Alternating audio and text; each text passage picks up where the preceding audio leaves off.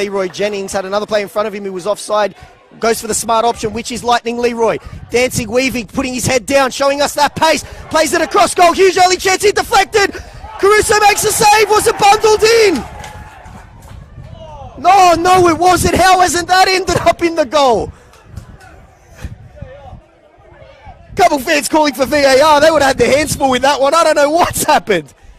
But our referee, Nathan Shakespeare, was on the spot.